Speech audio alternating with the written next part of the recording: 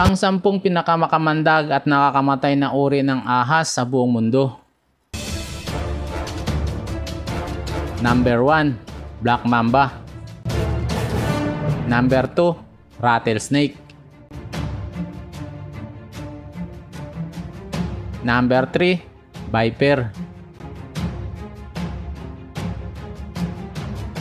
Number 4, Soskeld Viper. Number 5, Philippine Cobra. Number 6, Eastern Brown Snake.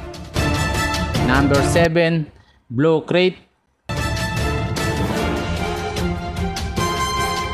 Number 8, Tiger Snake.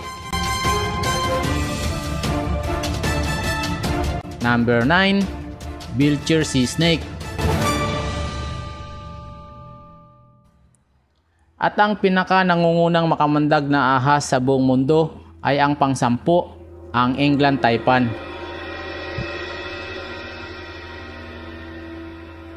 Ang mga ahas ay mahalaga sa ating kapaligiran dahil ang mga ito ang nagbabalance sa ating ecosystem. Ganun pa man ang mga ito rin ay kinatatakutan ng marami at nagiging banta pa sa buhay ng ilan dahil sa taglay nitong venom o kamandag na kayang pumatay ng tao sa loob lamang ng ilang minuto.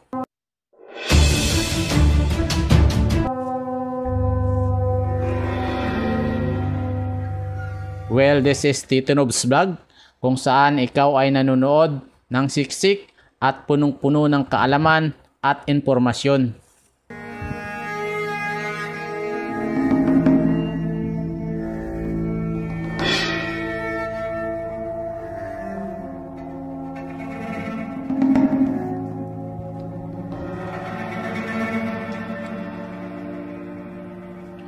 Kamakailan ay napag-usapan natin ang limang pinakamakamandag na ahas sa buong mundo. Sa bidyong ito, ang susunod nating tatalakayin ay ang lima pa na magkokompleto sa listahan ng sampung pinakamakamandag na ahas sa buong mundo. Kaya naman, kung handa ka na, eh simulan na natin.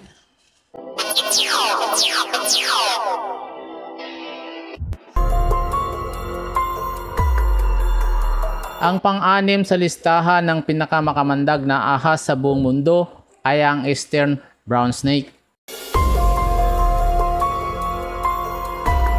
Ang Eastern Brown Snake naman ay kilala din sa tawag na Common Brown Snake. Ito ang isa sa pinakamakamandag na ahas na matatagpuan sa Eastern at Central Australia at pati na din sa Southern New Guinea. Ang mga ito ay humahaba ng hanggang pitong talampakan. Ang katawan nila ay payat.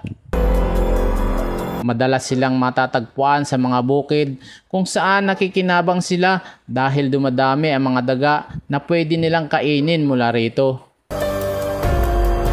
Ang Eastern Brown Snake ay ang pangalawang pinakamakamandag na land snake na sumunod sa England Taipan.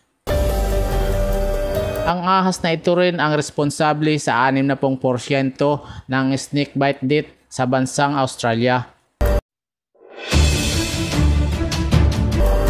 Ang kagat nito ay nagpapakita ng epekto sa circulatory system. Ang sumunod naman sa pinakamakamandag na ahas sa buong mundo ay ang blue crate. Ang ahas na ito ay isa sa pinakamakamandag sa Southeast Asia. Humahaba sila ng mula 43 inches na may 6.3 inches na buntot. Makukonsidera sila na agresibo at defensive na species. At ang pangwalo naman sa listahan ng pinakamakamandag na ahas sa buong mundo ay ang Soskeld Viper.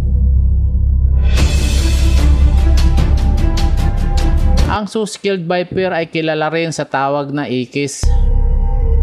At kalimitan silang matatagpuan sa dry region katulad na lamang ng Africa, Middle East, Sri Lanka, at Pakistan. Sila ang natatanging ahas na ikinikiskis ang kanilang katawan upang makapag-produce ng sizzling sound na nagsisilbing banta sa mga prey nito. Ang pangalang Ikis ay nangangahulugan sa Greek na viper. Ang espesye na ito ay pinaniniwalaan ng mga scientists na responsable sa pagdudulot ng pinakamaraming snakebite injuries at pagkamatay sa buong mundo.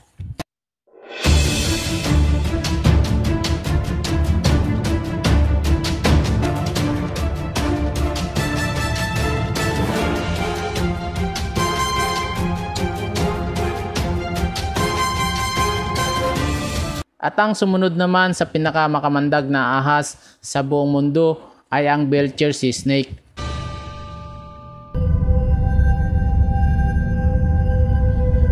Ang Belcher Sea Snake ay may scientific name na Hydropis belcheri. Sila ay klinasipika bilang Screamibinimous species ng Elapid Sea Snake. Hindi sila basta-basta nangangagat Karaniwan nilang nakakagat ay mga mangingisda.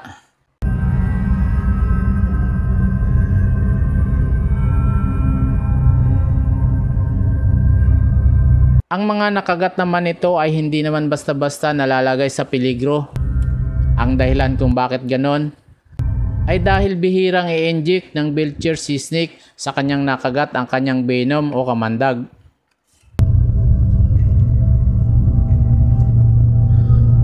At ang kokompleto naman sa pinakamakamandag na ahas sa ating listahan sa buong mundo ay ang pangsampo, ang England Taipan.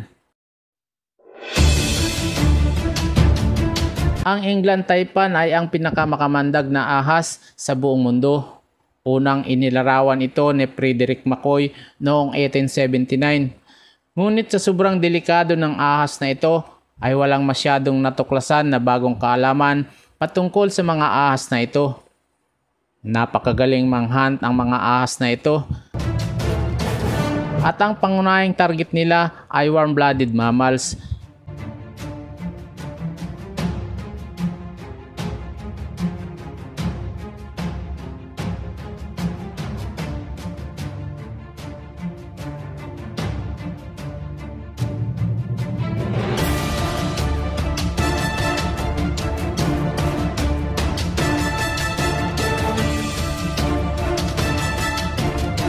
Mayroon silang kamandag na pumatay ng isang daang libo na tao.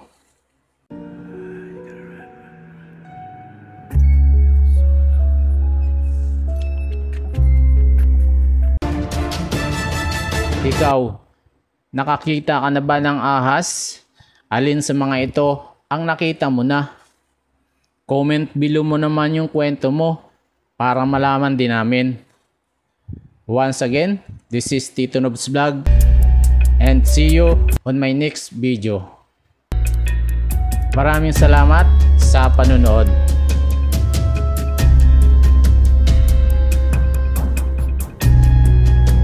At kung nagustuhan mo yung aking video, please subscribe lang sa aking munting channel, Tito Nobs Vlog.